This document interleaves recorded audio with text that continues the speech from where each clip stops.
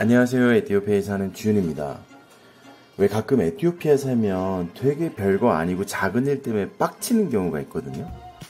근데 또 오늘 어, 때마침 그런 일이 하나 터져줬어요. 되게 별거 아닌데 별거 아닌데 기분을 어마어마하게 나쁘게 만드는 그런 일.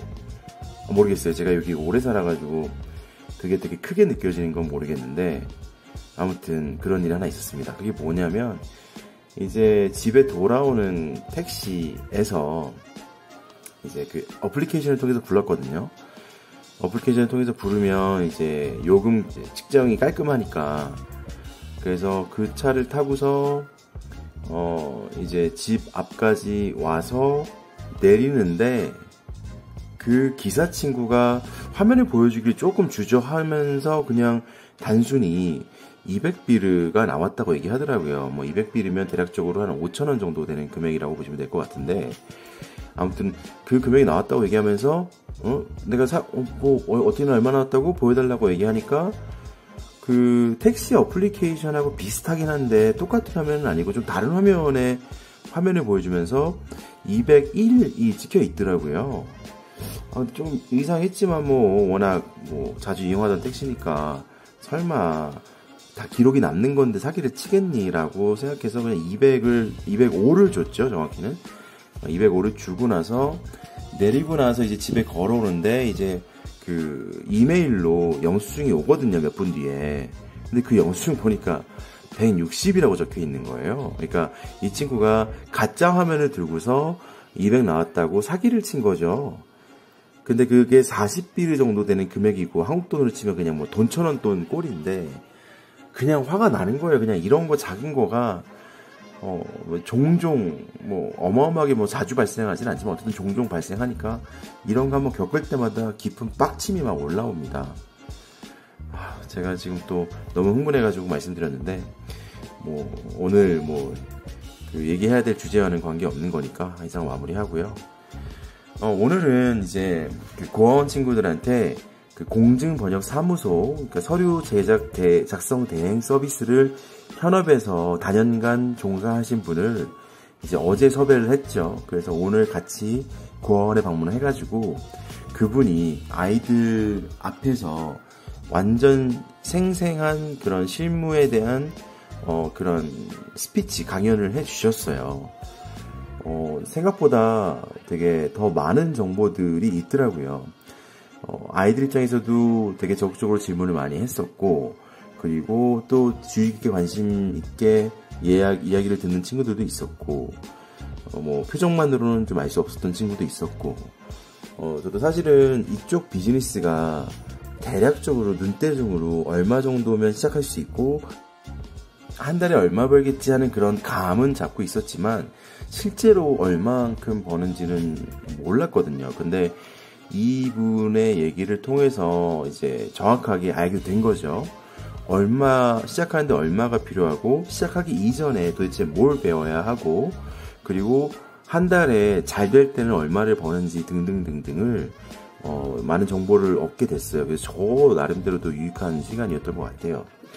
뭐, 얘기를 조금 디테일하게 하자면, 이 일을 시작하는 데 있어서, 어, 준비할 때 필요한 거는 본인의 얘기를 기준으로 봤을 때는 6개월간 컴퓨터 교육을 받았대요. 무슨 컴퓨터 교육을 받았냐? 라고 물어보니까 타자만 치는 거를 집중적으로 6개월 동안 배웠다고 얘기하더라고요.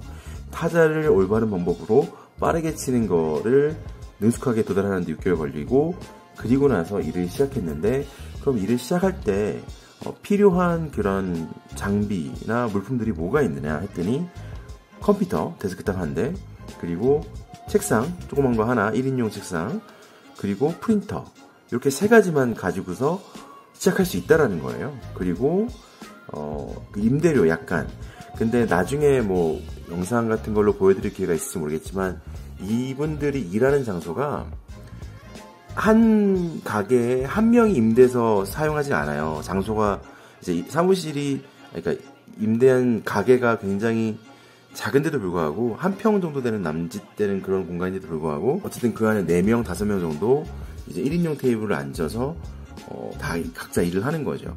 그래서 월세는 N등분을 하는 거예요. N등분을 해서 나눠서 이제 매달 얼마씩 내는 그런 식으로 가더라고요. 그리고 라이센스 부분 같은 경우는 라이센스를 만들게 되면 복잡해지니까 라이센스가 있는 사람을 arrange해서 어, N등분으로 같이 이제 같은 공간에서 일하는 사람들이 그 각분한다는 거예요. 일부 조금씩 금액을 내서 세금 같은 거 납부할 만한 그런 금액과 약간의 그런 어, 뭐라 그래요. 저기 그 커미션 같은 거를 지급을 이렇게 해준다고 하더라고요. 그러니까 어, 컴퓨터, 테이블, 그리고 프린터, 그리고 뭐 또뭐 세금, 임대료 이런 것들 어, 처음에 시작할 때 필요한 금액들을 기준으로 봤을 때 한국 돈으로 약 50만 원이 채 안 되면 뭐 시작을 할 수 있겠더라고요. 뭐 그리고 이제 많은 얘기를 나눠봤지만 어, 에티오피아에서 50만 원만 들여서 시작할 수 있는 일 중에 한 달에 한 최소 30, 40만 원 정도를 벌 수 있는 일이 많이 없거든요. 이 일이 그 중에 하나이고 제대로만 하면 뭐 50만 원, 그러니까 매출을 얘기하는 거예요. 매출 50만 원 정도까지 혹은 좀 더 이상까지 어, 매출을 올릴 수가 있겠더라고요. 실제 그 일하신 분도 코로나 이전에 잘 됐을 때는 뭐 대략적으로 한 달에 한 50 몇만 원 정도는 벌었다고 하더라고요. 그래서 어, 이 친구들 지금 컴퓨터 교육을 해주고 있는 그 친구들한테 가장 적합한 일이 아닐까 싶어요. 그러니까 그리고 이 친구들도 본인들도 아마 이해를 했을 거예요. 이 일만큼 현재 본인들이 처한 입장 환경에서 시작할 수 있는 일로서는 가장 베스트이다라고 아마 분명히 인지를 했을 겁니다. 그리고 친구들한테 제가 좀 부연 설명을 했어요. 뭐라고 설명했냐면 어쩌면 너희들 중에는 이 일 자체에 관심이 없거나 이 일은 내 일이 아니다라고 생각할 수도 있을 것이다. 그러나 뭐가 됐든 너희들이 살아가려면 돈이 필요하고 돈을 만들기 위해서는 일이 필요하다.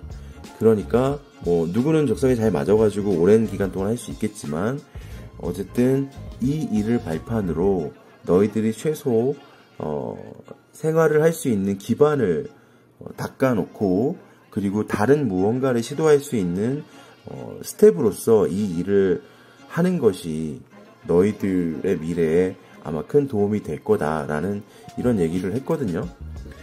어, 뭐, 저는 그렇게 생각합니다. 제가 생각하는 거는 그렇게 생각하고요.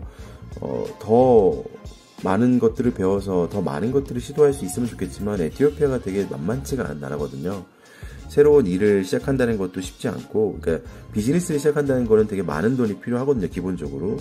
직장을 들어가서 일자리를 찾아가지고 월급 받는 거는 워낙 작은 금액의 월급이고, 뭐 등등등 되게 쉽지 않은데, 어, 어쨌든 그 와중에 가장 현실적이고 가장 괜찮은 방법을 찾은 게 아닌가 싶어요. 다행히도. 아, 그리고 또, 뭐, 얘기 듣다 보니까, 뭐, 쉽지만은 않은 게 뭐냐면, 지금 이런, 이제, 공증 번역 대행 일을 하는 그게, 어, 인기가 상대적으로 많다 보니까 빈자리가 안 나는 거예요. 사무실, 그러니까 가게를 더 추가로 늘리는 거는 이분들이 단합을 해가지고 더 이상 가게가 못 들어오게 막더라고요. 자기네 수입이 줄으니까. 그렇기 때문에 결국에는 누군가가 나가면 그 자리를 채우는 방식으로 들어가야 되는 식이더라고요. 그래서 그런 자리를 얻기 전까지는 그 월급제로 그 직원처럼 일을 해야 되는 상황인 것 같더라고요. 이게 약간 어쨌든 step by step이 있는 것 같아요. 그 내부에서도. 그래가지고 어 그것도 이제 또 해결해야 될 문제긴 한데 참 아무튼 그 부분도 쉽지 않더라고요. 아 그리고 또 충격적으로 얘기 들은 거 하나가 뭐냐면 왜 제가 지난번 영상에 아이들이 이제 고아원을 나가게 되면 어, 한 만비를 그러니까 한국 돈으로 한 20몇만 원 정도 되는 돈만 받는다 그랬잖아요. 더 충격적인 게 있어요. 그 돈을 현금으로 받지도 않더라고요. 그 돈을 어 그 정확히는 한, 한 3, 40만원 좀, 40만원 좀 안 되는 금액인 것 같아요. 근데 그 금액을 지원해주긴 지원해주는데, 월세를 대신 내주고, 그리고 그 월세 집에 필요한 생활 가구들을 대신 구매해주는 그 금액 내에서. 그래서 아이들은 실질적으로 손에 현금을 받는 게 전혀 없는 거더라고요. 아, 물론 현금으로 직접 주면 뭐 부가적인 문제들이 따라올 수 있기 때문에 그러는 거는 충분히 이해가 되긴 한데 원체 작은 금액 가지고 하는 거라 참 참 그 얘기 듣고 나서 좀 당황스러웠습니다. 어, 일단은 내일은 이제 다른 같은 현업종사자인데 다른 섭외한 분을 통해서 다른 그룹 아이들을 교육을 진행할 예정이에요.